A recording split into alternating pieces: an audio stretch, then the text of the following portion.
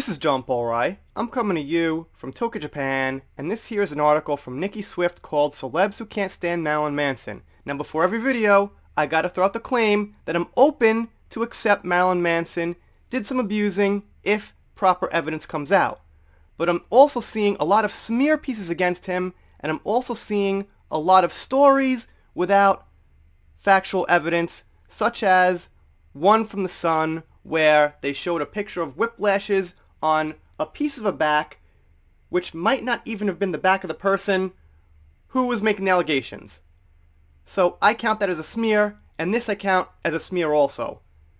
Let's get into it. You guys might not know all these, I say celebs quote unquote because they're not all celebs. Some of them are like really like B and C level rock stars. But that's what I want to point out, is that a lot of people are searching for things to say bad about Manson. Conveniently, at the time before Johnny Depp's trial, where Manson could have been a witness who could claim that Johnny is not a monster that Amber Heard said he is, and the monster Amber Heard says Johnny is, is more like this sarcastic grumpy guy that comes out, not this abusive crazy monster, which, you know, seems like it makes sense to me. Okay, let's see what we got here. First one, Trent Reznor called Marilyn Manson a dopey clown. And I just gotta say, right here, that, you know, my father was in the rock and roll business his whole life. I've met a lot of rock stars throughout my time, with my dad, some without my dad, but, you know, to name a few, Joan Jett, Dee Ramone, I'm sure a lot of you guys know the Ramones, Steven Van Zandt, who was still in Sopranos, and I've been backstage, behind the scenes, quite a bit. Rock stars, you know, they get into little things with each other, little scuffles. They get angry about, you know, using lyrics. Like, did he take that from my song? Or, you know, did he take that from somebody else's song? Was that riff originally his? They get messed up a lot. They do a lot of drugs and drink a lot of alcohol. So they say things and, you know, they get into these little fights. So honestly, things rock stars say about Marilyn Manson, I think is a different, you know, kind of beast than what other celebrities say about him, or people that know him throughout his life. But okay, Trent Reznor is a big enough name to, you know, count. Corey Feldman! oh, we know about him. Corey Feldman was also abused by Charlie Sheen, right? Corey Feldman also has a lot of women coming out and saying that they were abused by Corey Feldman. Corey Feldman also got stabbed. So Corey Feldman, I'm sure all of us out there take with complete truth. Bad sarcasm on my part. Maybe, maybe not. You guys get the point. We don't really take this guy's opinion for much. I didn't hear about this thing. You know, I'm not going to get too deep into it. So someone ripped off someone's t-shirt. Whatever.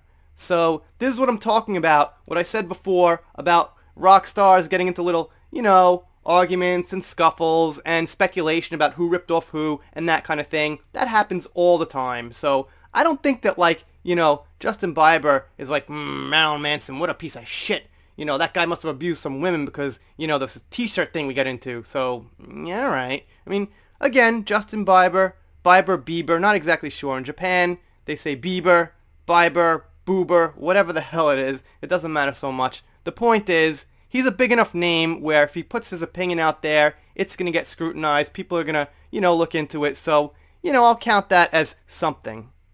Rob Zombie clashed with Marilyn Manson on tour. Okay. Well, like I said, Rob Zombie is a...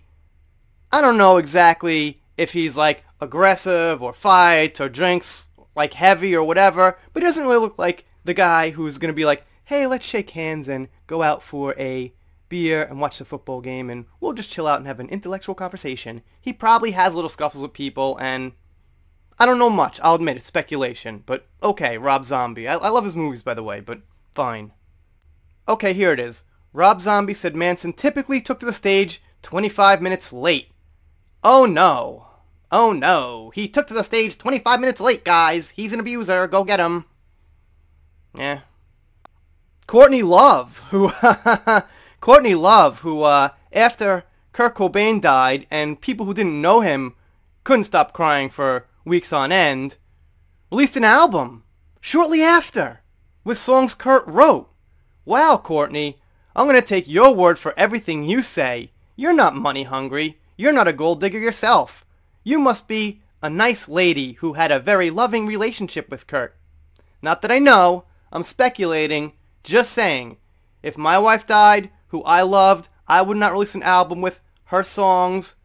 So Courtney Love, I won't totally discredit because she did say some things about Weinstein that came out, a little bit of a whistleblower for that kind of thing.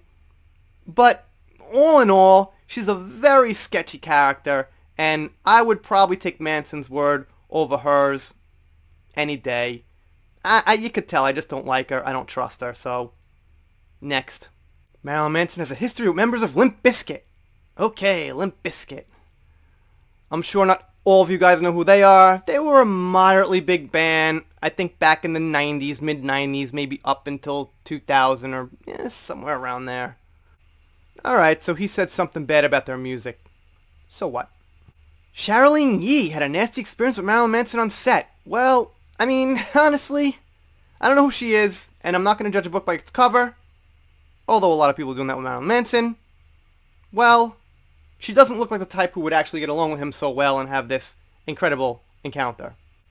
And she says that she was on a sitcom, something like that, and she says Marilyn Manson harassed every woman on the set. Okay, hey, take that if you want to take it for truth. That's what he said. He harassed every woman on the set. I guess nobody had nothing to say about it. Nobody stopped him. He just walked around and harassed every single woman he saw out in the open. Uh, okay. Okay, take that as you want. Maybe. maybe, maybe not. Paul Stanley of Kiss called Marilyn Manson pathetic. Alright, well, Kiss is a huge, huge band. I'm sure some of you guys must know Kiss. And I don't know, I guess maybe when you're at that level, maybe, you know, you insult. And again, look, look at him. He's kind of like a more clean Marilyn Manson without the gore image. So maybe he thought Marilyn Manson was like ripping them off, you know, because Marilyn Manson's got kind of similar face paint and things. So, eh, who knows. And Esme Bianco wants to see Marilyn Manson in jail. She's the one I'm talking about who teamed up with The Sun to write the article about Marilyn Manson, who showed the picture of the whip on her back, and there's no way to know it's him, and there's no way to know it's her back, but the Sun presents, presents, the Sun presents it as fact. The Sun presents, that's what I was trying to say. I'll leave it in there. What the hell, maybe it was funny. I'm not trying to be funny, this is a serious thing. Well, it's more serious now I'm talking about her. It wasn't so serious with the rock star stuff. But anyway, my point is, did he abuse her? Hey, maybe he did. Maybe he did. But the article in The Sun she wrote about it was smear, whether the abuse is true or not. For example, we know that Amber Heard abused Johnny Depp. But you can write a smear article about Amber with the wrong facts, even though she is the abuser, if you get my drift. You can write an article about Amber Heard and omit some key points of evidence and put the evidence out in front that doesn't have proof within that article. So I'm not saying that he didn't abuse her. That could be proven. But I'm saying the article she wrote about him was a smear piece. Moby and Marilyn Manson traded verbal jabs. Who's Moby? I've heard of him. That's about as far as we go. And whatever. Phoebe Bridgers stopped being a fan of Marilyn Manson as a teen, and I don't know who she is. Um, she was on Saturday Night Live. I wouldn't consider her a celebrity. Look, celebrity has a wide meaning. You can call anybody who has the potential to be famous a celebrity because they are in, you know, the entertainment business. But when you think of like celebrities, sometimes you think of well-known people. Tom Cruise, Angelina Jolie, Brad Pitt, Johnny Depp.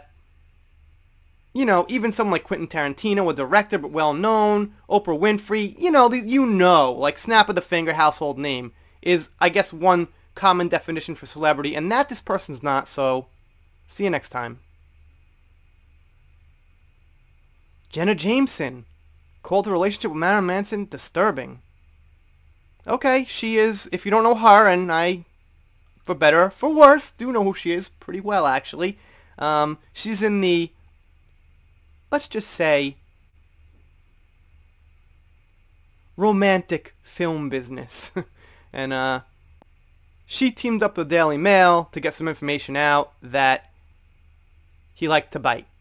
Okay, I mean, a lot of these women are saying he liked to bite. I'm not disputing that a lot of the things these women say is false.